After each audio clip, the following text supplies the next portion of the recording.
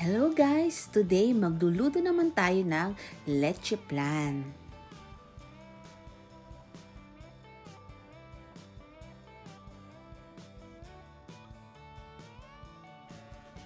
Ang una natin gagawin ay magka-caramelize tayo ng sugar. Maglagay lamang ng sugar sa ating mga lanera. At pagkatapos, isasalang natin ito sa stove or sa apoy. Dapat mahina lamang ang inyong apoy para hindi masunog ang ating sugar. Kung gusto nyong mabilis matunaw ang sugar, maglagay lamang ng kaunting tubig.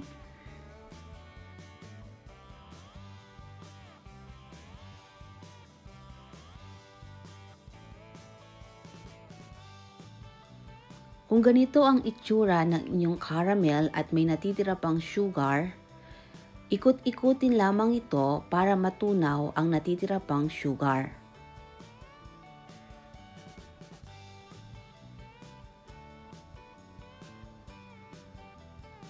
At ngayon, ready na ang ating caramel. Iset aside lamang ito.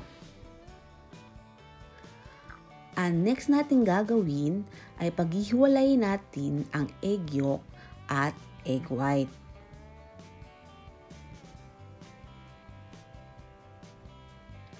Gumamit lamang ng tinidor para i-crack ang egg.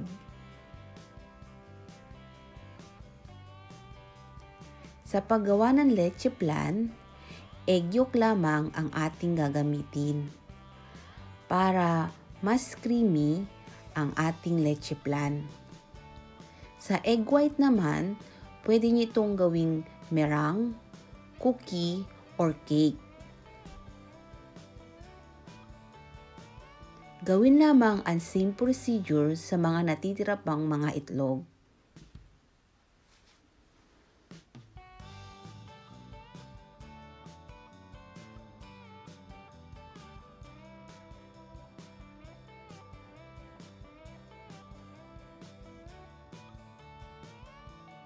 Tapos na natin paghiwalayin ang egg yolks at egg white. Bali, gumamit ako dito ng 12 egg yolks. Kasi maliliit na itlog lamang ang available. Pero kung ang gagamitin nyo ay large size of egg, dapat 10 egg yolks lamang.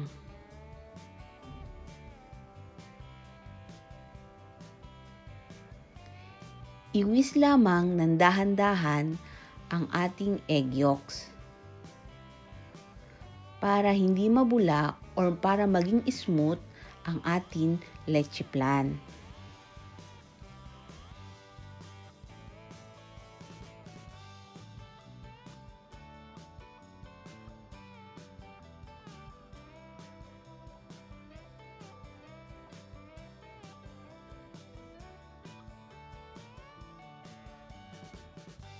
Kapag tapos ng iwis ang egg yolk, ang next naman natin gagawin ay i-add ang condensed milk.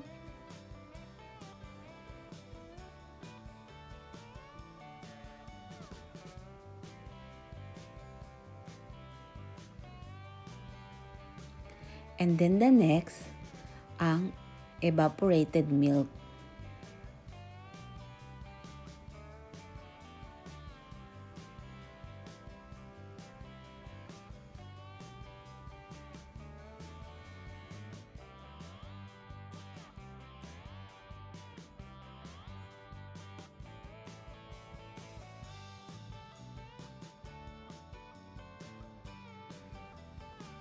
Para maging smooth ang ating leche plan, dapat dahan-dahan lamang haluin ang ating leche plan mixture.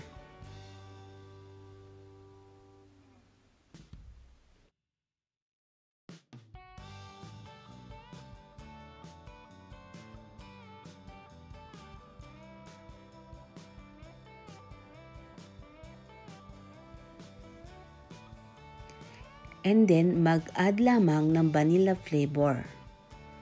Ito ay optional lamang.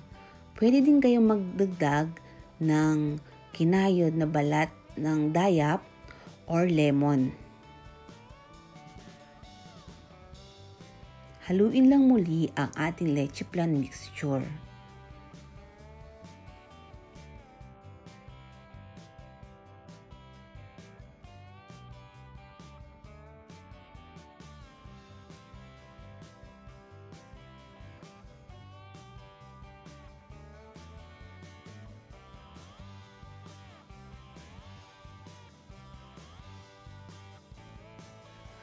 Ang next step naman natin na gagawin ay sasalain natin ang ating leche plan mixture para maging smooth ito at ma- maalis ang mga lumps. Salain lamang ito ng dalawa hanggang tatlong beses.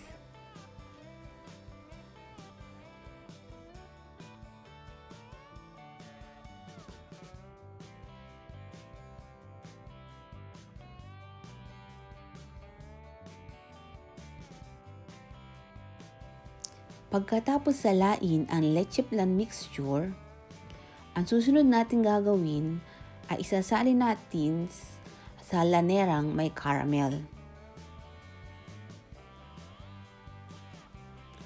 Nasa sa inyo na kung gaano gusto nyo kakapal ang inyong leche plan. I-transfer lamang ito sa lahat ng inyong lanera.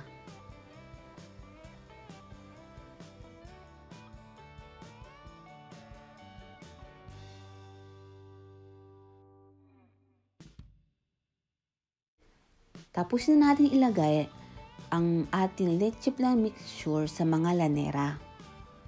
Ang next step na ating gagawin ay tatakpan natin ito ng aluminum foil para kapag in-steam natin ang ating leche plan, hindi ito matuluan ng tubig. Kasi kapag natuluan ng tubig ang ating leche plan, magiging butas-butas ito or masisira ang ating leche plan.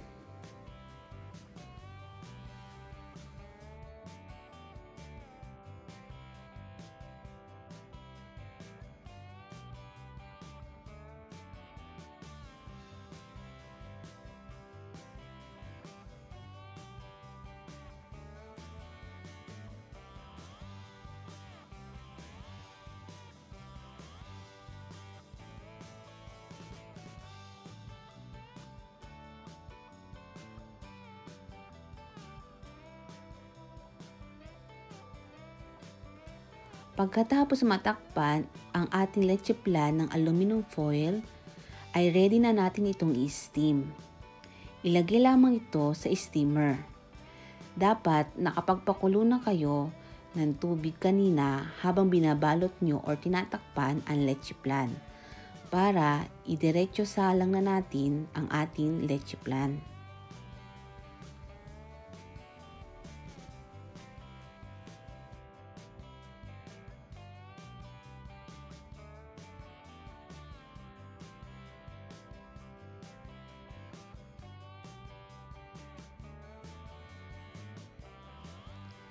Lutuin ang leche plan sa loob ng 30 minutes. Dapat low heat lamang ang inyong apoy para hindi mabigla ang ating leche plan.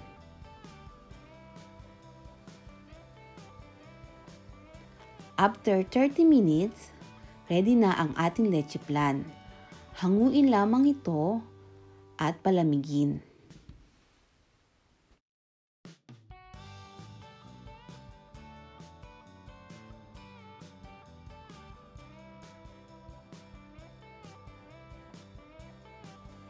Ito na yung leche plan na pinalamig natin kanina. Ngayon, gagamit ako dito ng spatula para madaling maalis ang ating leche plan sa lanera. Dapat dahan-dahan lamang para hindi masira ang ating leche plan.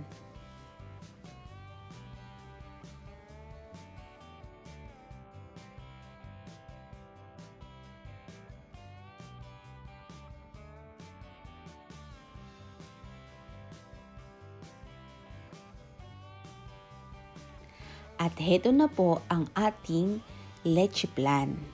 Sana po nagustuhan nyo ang aking recipe. Please like, share, and subscribe to my channel. At hit nyo na din po ang notification below para lagi po kayong updated sa aking mga bagong recipe. Thank you for watching!